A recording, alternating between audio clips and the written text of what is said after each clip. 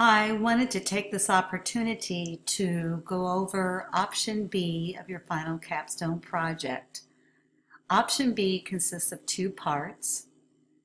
One part is your module that you're constructing and the other part is a reflective piece. This is an opportunity for you to demonstrate the mastery of what the concepts that you've learned throughout this program of study. You're going to design an engaging, technology-assisted instruction format. So let's go along, scroll down. Part one of option B is developing an online interactive learning module. The module that you're going to create should be appropriate for your occupation and appropriate for the learners in your situation. The module is going to support the standards that are appropriate for a classroom educator or appropriate standards, competencies, or objectives for the organizational environment or training environment that you're involved in. The online and interactive module can address any grade, any subject, topic, task appropriate to your present or future training instructional responsibilities. The online format, you're going to choose this format that supports your situation and the learners involved in that situation.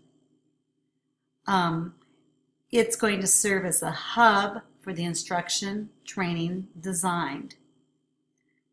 When you're designing your, your, your um, interactive teaching module, I want you to design or think about designing for the future and not just for the present as far as technology resources that are available for you or to you.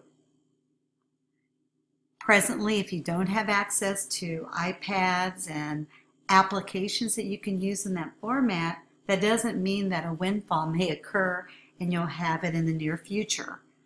So still implement the options of using resources and apps that you think would really enhance your instructional design. The interactive learning module that you're going to design can be designed as an entirely online experience or as a blended learning implementation. It's going to guide the learner through the instructional process. It's not just a site that you're developing with links to websites. The module must include all material, materials and learning activities necessary to master those module objectives.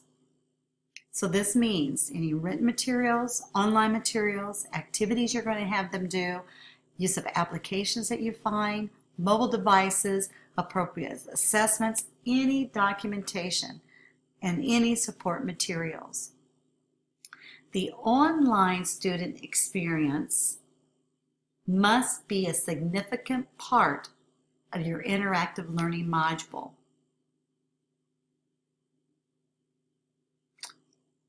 You must have a section for the instructor, the leader, or the trainer.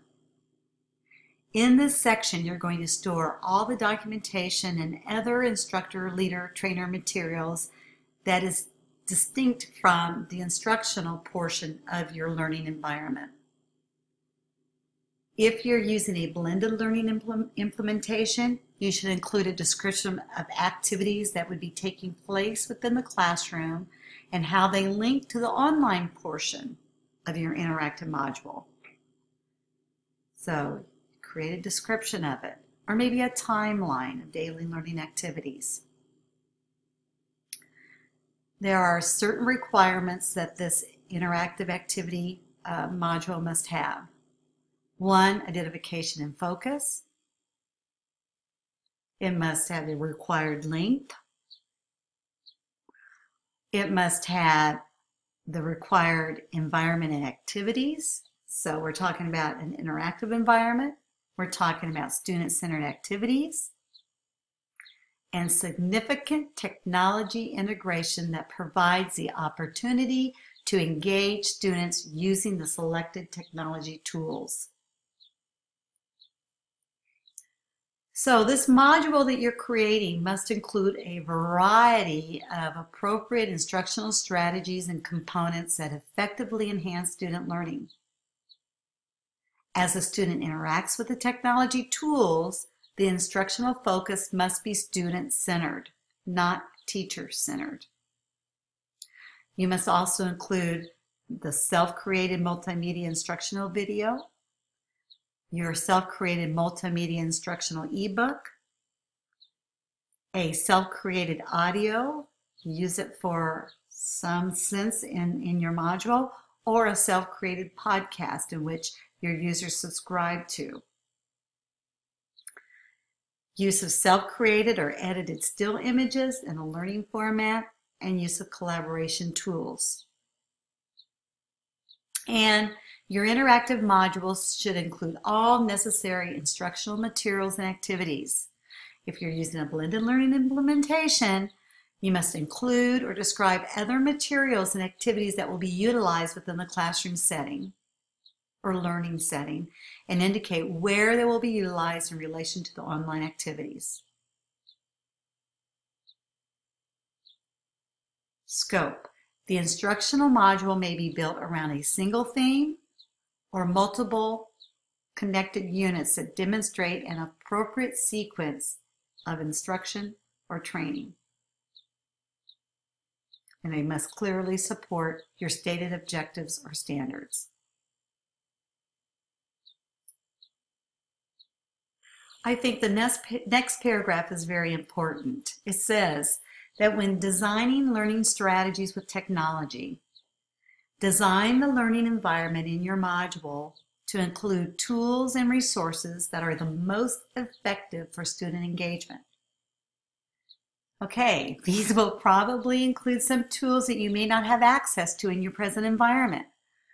For example, you may work in an environment that blocks YouTube or blocks blogging, yet you really feel like that this experience would enhance your module, still include that idea in your module. Future situations can't be predicted as far as resources are concerned. And keep in mind that as new innovations emerge, the tools in your module may change. Think beyond your current situation and be sure to select at least some tools and strategies that you would love to use even though they may not currently be available in your learning environment. Be practical, but dream.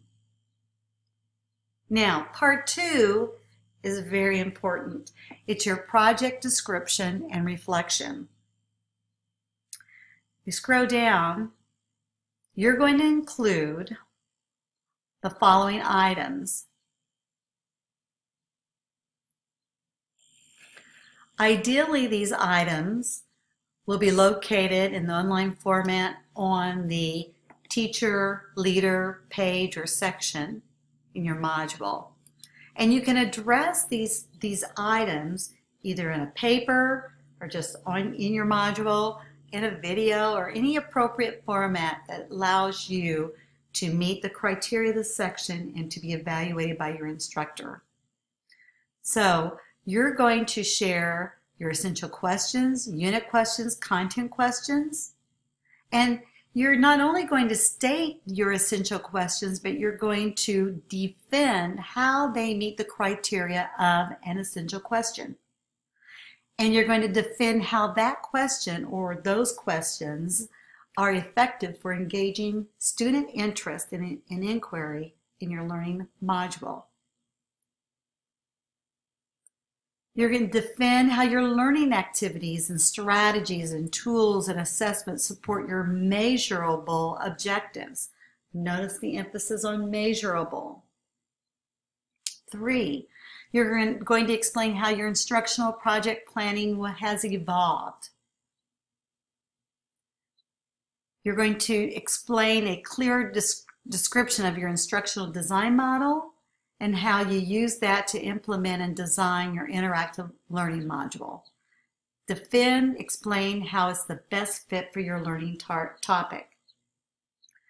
Four, you're going to reflect on student engagement throughout the learning interactive learning module.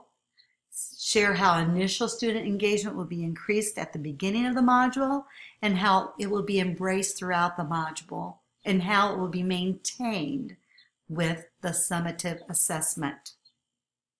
Student focus. Defend how you utilized the, the following bulleted list. Student-centered learning through personalization. Provision for advance, advancement based on mastery of knowledge and skills. Provision for the flexibility, flexibility, the flexibility to learn anytime and anywhere. Opportunities for students to make choices about their own learning. Six, you're going to explain and reflect on assessment strategies. Seven, how you met the needs of different learners, how you differentiated your, your instruction. Eight, technology integration provides specific examples of how technology will be integrated into your module. So you're going to do a lot of explaining to support how the tools that you selected are the best choice to enhance student learning. You're going to explain your technology resources and other materials that are needed in your unit, how they support it. 10. Justify how your module meets the necessary length requirement of your type of instructional or training setting by providing a summary of the individual activities and assessments along with estimated time requirements. And finally, 11, reflect on your entire planning, developing process and experience. And this is where this is a reflective point of this about what changes that you would um, suggest, if any, in the process and positive implement improvements to your module. So anyway, this is option B, two parts. It gives you a chance to not only develop, but then to explain and reflect very thoroughly. Have fun developing.